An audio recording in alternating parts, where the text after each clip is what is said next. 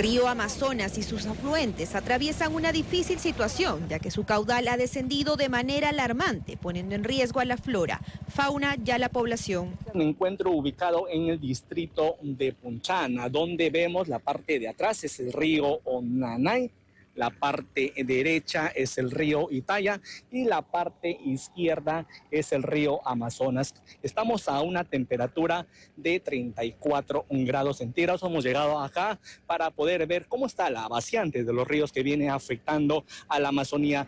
El caudal de los ríos ha experimentado una impresionante baja, a tal punto de que ahora los pobladores pueden caminar por este extenso terreno en el cual abunda el agua. Es la parte más profunda del río, de la, de, la desembocadura del río Nanay. Debería tener aproximadamente 3 o 4 metros por encima del nivel que nosotros nos encontramos. Y actualmente no tiene ni 50 centímetros. Como ven, podemos pararnos en pleno cauce del río y esta es una muestra justamente de la eficiencia o sequía hidrológica que se viene produciendo en toda la Amazonía. Marco Paredes jefe de Senami en Loreto, indicó que la disminución del caudal es de entre 3 a 5 centímetros, acercándose a un nivel crítico que podría igualar o superar el récord registrado en 2010.